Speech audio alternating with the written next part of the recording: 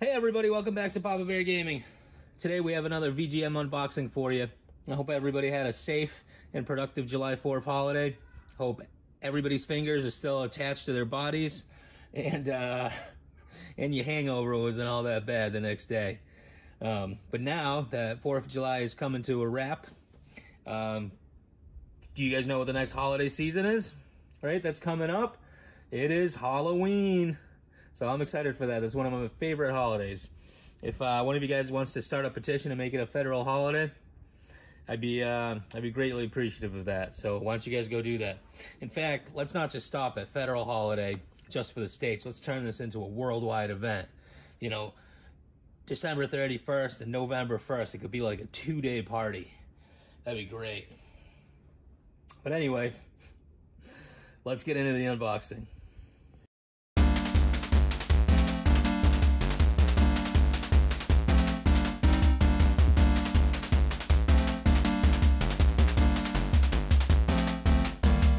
Hey guys, welcome back.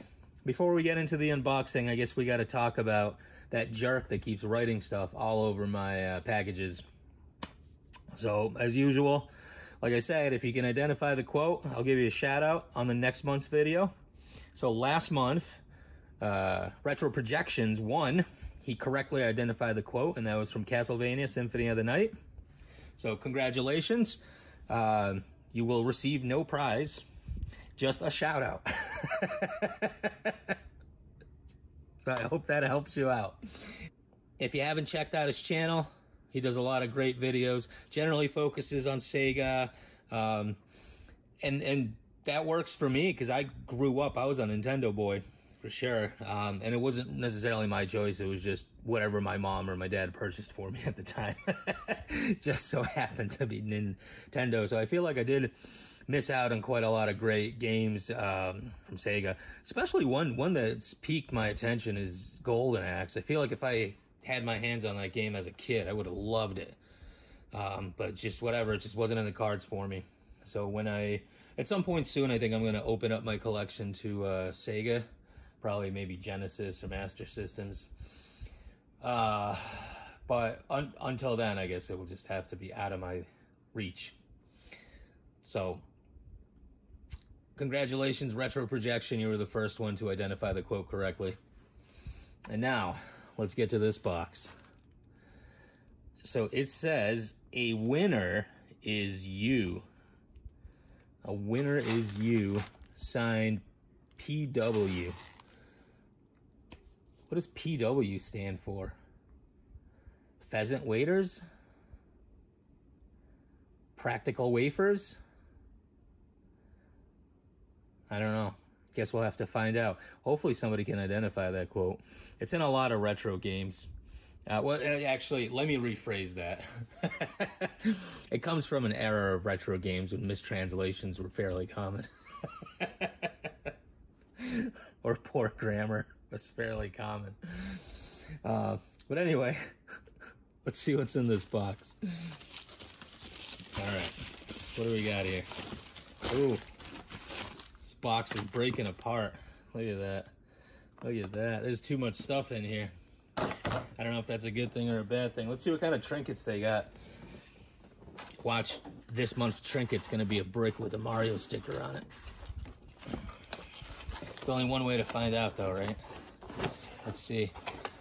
I do, I, I, I, do have to say, I like this. Oh, and if you don't know what VGM is, it's a monthly subscription service where you get games shipped to you um, you can sign up for uh, a, a, number of games. I sign up for the 10 bucks, so I should get 10 games in there unless I get a one up.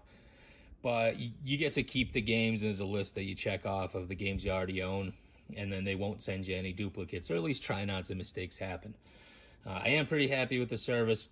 I am a little bit disappointed with their trinkets because last couple of months it seems like their trinkets weren't um, really expensive. And when I mean expensive, I mean like dollar store. You can buy a whole bag for a dollar. Dollar. This looks like a tattoo. Yeah, it is a tattoo. So this is the first trinket. It's a Super Mario tattoo. This is the kind of stuff I was talking about. Like I got a big pile of stickers and other stuff somewhere that I'm just never gonna use. then they always throw in one of these. It just reminds you to update your collection. Or, or they'll sick a bunch of wild dogs on you. Just kidding. I got a 1-up, which is great. Uh, what the 1-up does is it gives you an extra game in the box. So that is fantastic. So instead of the 10 games, I should have 11. So the first game, Marty, not super happy with it. Ridge Racer. Ridge Racer was a pretty sweet game, but the crap thing about it is it's loose. It's just a disc. it looks like it was resurfaced. Disc isn't the best condition, but Ridge Racer is a pretty cool game. I'm gonna have to try to find a, a box for it. So I'll just throw that into my pile of loose discs that I have. I, I generally don't even put loose discs into my collection.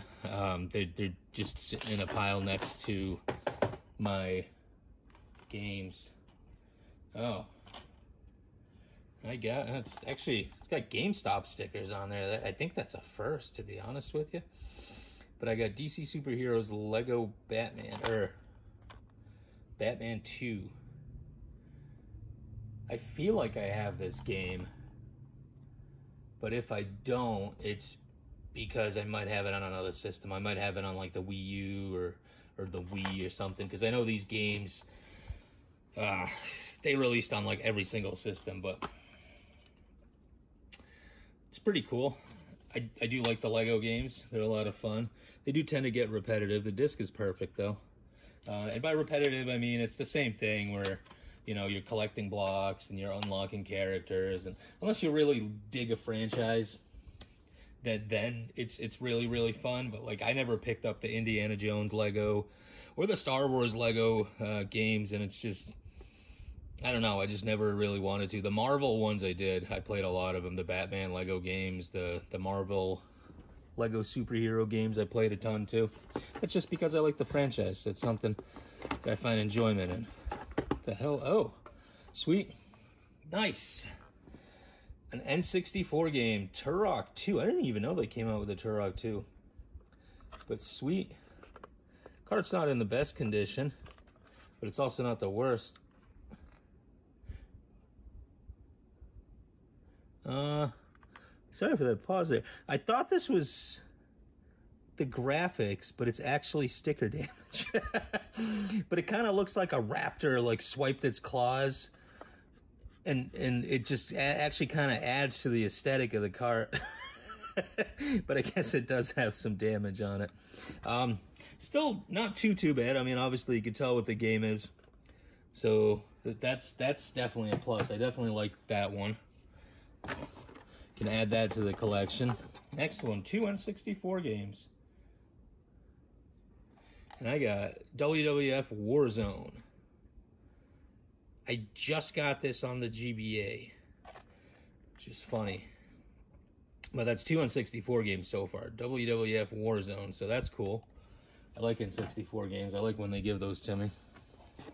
What is next? Oh, looks like there's a couple of Game Boy games.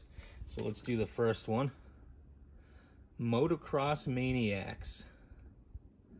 Motocross Maniacs. The cart's in pretty good condition, but I haven't played the game. I don't know what this game's about.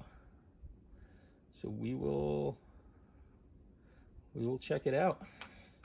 And the next one is F1 Racer, Formula One Racer. I'm assuming that's what it stands for. I know every now and then they like to change it up, but yeah, Formula One race, or sorry, not racer, race. If only I learned how to read. It's got some stickers on the back, but that's that's an easy fix. You can clean them up. So I have four, five, six games out. So I still should have five more games in here. I mean, I don't know if it's five or not, but we'll find out.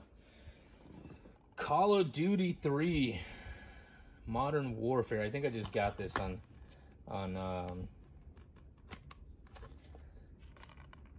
on the Wii U. But yeah, Call of Duty Modern Warfare 3.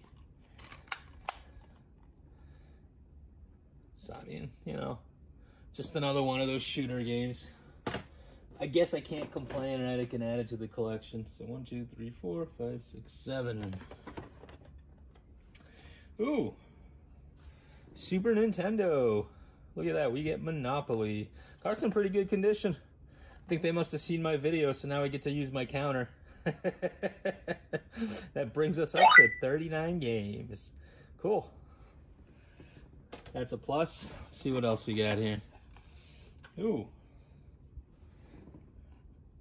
Othello for the NES.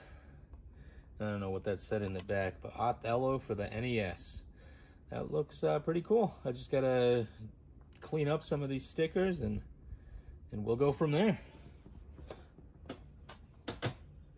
Okay, should be two more games in here, and there are. We have, I have no idea what that says. Cycros? Cycross? Well, it's definitely cross, but Cycross, I'm assuming. That, that doesn't help either. But Cycross. The label's in okay condition. It's peeling a little bit on, on, on the top there. Maybe you got some water exposure or something. So we'll check out this game. I know nothing about it. And then the last game we got is another NES game is Pinball Quest. Somebody else got this in one of their boxes. Pinball Quest. That's pretty cool.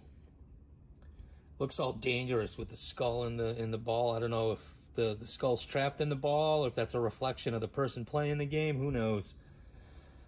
That looks pretty cool. So I'll be sure to add these. I got nothing else left in the box. So just as a quick recap, two NES games. Sorry, two N64 games.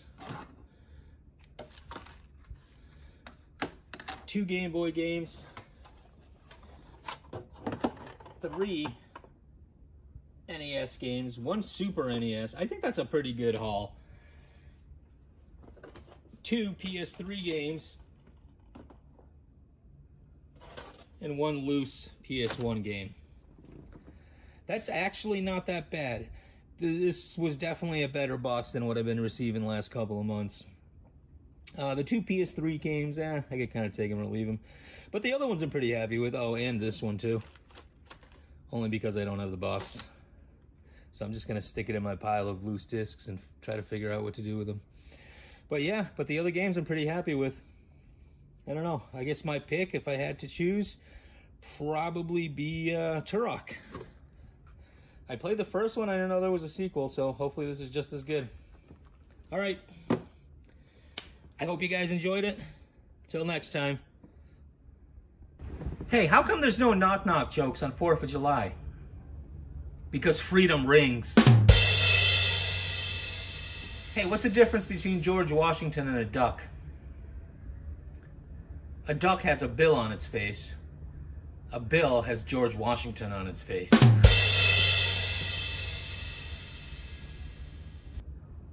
What, what does the Statue of Liberty stand for? Oh, because it can't sit down. It's a statue. What did the duck bring to the 4th of July party? Firecrackers.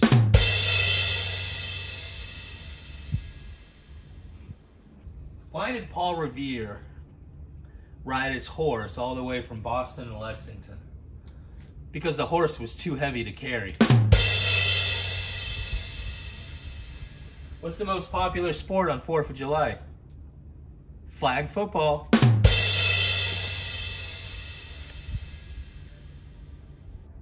What is red, white, blue, and green? Uncle Sam after just getting off the roller coaster. Have a good day, y'all.